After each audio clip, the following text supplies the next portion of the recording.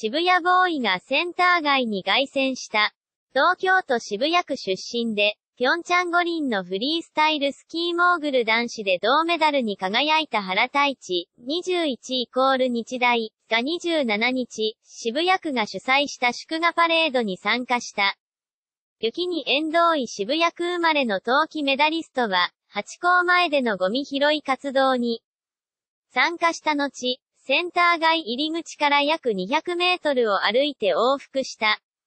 おめでとう、渋谷ボーイ、と英語で書かれた横断幕とともに行。紳士、往来の人から写真を撮られたり、祝福の言葉をかけられた。主催者発表では観覧者は3000人。もう少し人通りの少ないところでやるのかと思っていたら、思い切り人のいるところだった。